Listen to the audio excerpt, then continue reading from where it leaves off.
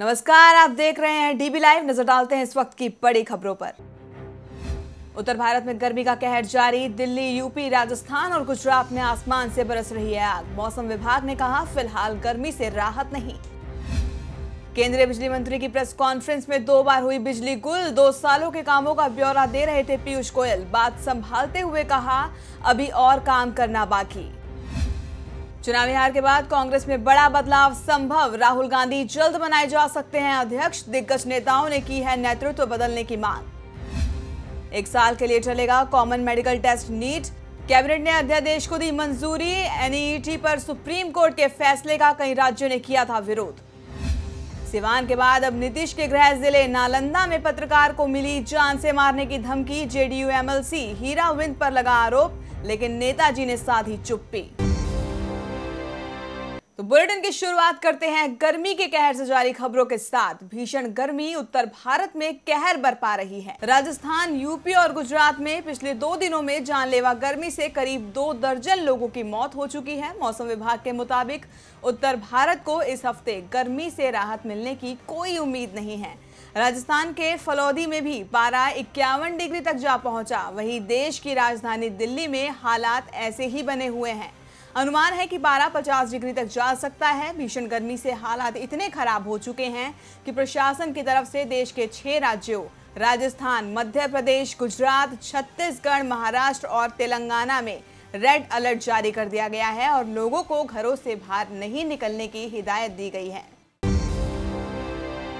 अब बढ़ते हैं अगली खबर की तरफ़, जो है बिजली मंत्री पीयूष गोयल से जुड़ी। देश के ऊर्जा मंत्री को उस समय शर्मसार होना पड़ा जब उन्हीं की प्रेस कॉन्फ्रेंस में एक नहीं, बल्कि दो बार अंधेरा छा गया। दरअसल पीयूष गोयल अपने दो सालों के काम का ब्यौरा दे रहे थे, तभी अचानक दो बार बिजली चली गई। बिजली जाने के दौरान स्थिति ये रही कि सभी पत्रकार और अन्य लोग अंधेरे में बैठे रहे। लेकिन केंद्रीय मंत्री इस दौरान मुस्कुराते रहे। यही नहीं, इसे सकारात्मक ढंग से लेते हुए उन्होंने कहा कि लगता है अभी और काम करना बाकी है।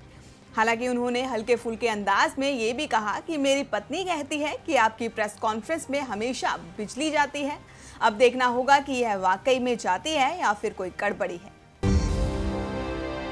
और अब खबर कांग्रेस खेमे से, जहाँ चुनावी हार के बाद हड़कंप मचा हुआ है। खबर आ रही है कि पार्टी उपाध्यक्ष राहुल गांधी जल्द अध्यक्ष पद की कमान संभाल सकते हैं। पार्टी के एक वरिष्ठ नेता ने बताया है कि विधानसभा चुनाव और पुनर्गठन में परिवर्तन दोनों अलग अलग प्रक्रियाएँ हैं। विधानसभा चुनाव में पार्टी की हार से राहुल गांधी के अध्यक्ष बनने पर कोई असर नहीं पड़ेगा। उनके मुताबिक राहुल गांधी बहुत जल्द कांग्रेस अध्यक्ष की कमान संभाल सकते हैं। आपको बता दें कि कांग्रेस को मिली करारी हार के बाद पार्टी के दिग्गज नेता दिग्विजय सिंह और शशि थरूर ने आत्मचिंतन छोड़कर एक्शन लेने की मांग की थी।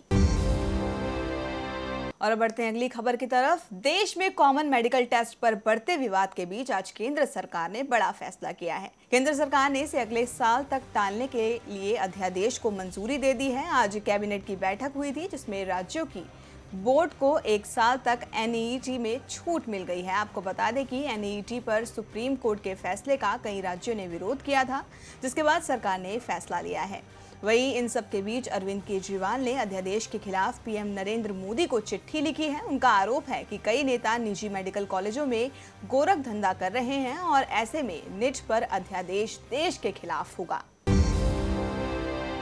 और अब खबर बिहार से, मुख्यमंत्री नीतीश कुमार के गृह जिला नालंदा में भी पत्रकार सुरक्षित नहीं हैं। एक हिंदी दैनिक अखबार के संवाददाता को पिछले कई दिनों से जेडीयू, एमएलसी हीरा विंद और उनके गुर्गो द्वारा कथित तौर पर जान से मारने की धमकी दी जा रही है पत्रकार राजेश के मुताबिक वो अकेले अपने बिहार शरीफ कार्यालय में काम कर रहे थे, तभी चार अज्ञात वहाँ आ धमके।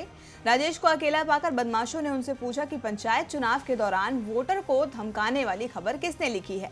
जब राजेश ने कहा कि वो खबर उन्होंने लिखी थी तो बदमाशों ने उन्हें धमकाते हुए कहा कि अगर ज़िंदा रहना है तो विधान पार्षद हीरा विंद से माफ़ी मांग ले और उनके खिलाफ खबर लिखना बंद कर दे। राजेश ने इस घटना की शिकायत लहेरी थाने में दे दी है। वही फ़िलहाल अब पुलिस जो है, वो मामले की तफ्तीश में जुट गई है।